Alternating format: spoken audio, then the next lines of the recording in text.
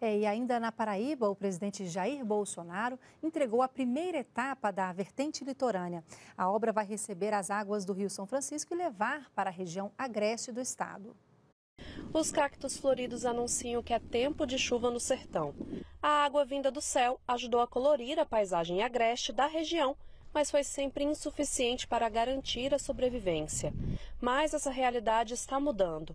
A obra da vertente litorânea da Paraíba vai passar por 39 cidades do estado, distribuindo água para os moradores e favorecendo plantações, criações e pequenas indústrias.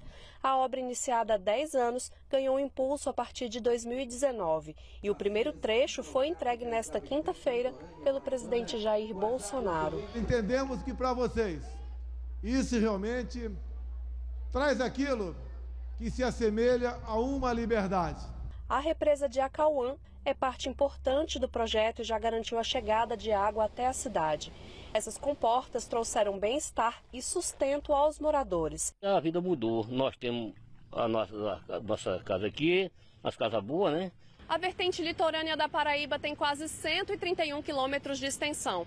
As águas que passam por esse canal vão beneficiar mais de 680 mil pessoas. Com a chegada dos recursos hídricos aqui, será possível implementar, por exemplo, projetos de irrigação no Agreste, o que vai fortalecer a economia e gerar empregos e renda para a região.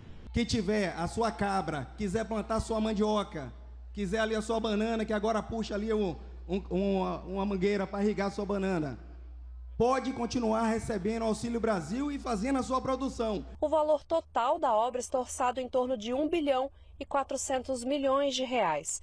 As águas que aqui chegaram vêm do eixo leste do projeto de integração do Rio São Francisco e agora poderão seguir adiante, levando vida e progresso a outros nordestinos. Essa obra aqui, as vertentes litorâneas, ela faz parte desse contexto, né, da gente levar as águas do São Francisco mais longe.